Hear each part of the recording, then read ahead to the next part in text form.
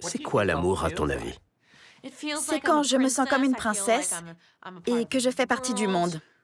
Ce que j'ai toujours voulu. Et c'est le cas. Tu es amoureuse? Oui, De qui?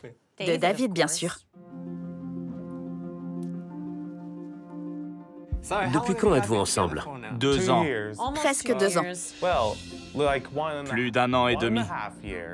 Et c'est comment? Bien. C'est fantastique. Vous êtes heureux ensemble Oui, Absolument. on est toujours ensemble. David, parle-moi d'Abby. Voyons. Elle est aussi douce que mes desserts préférés. Merci.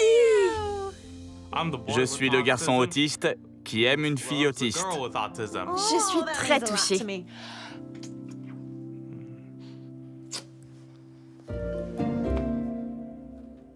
Merci.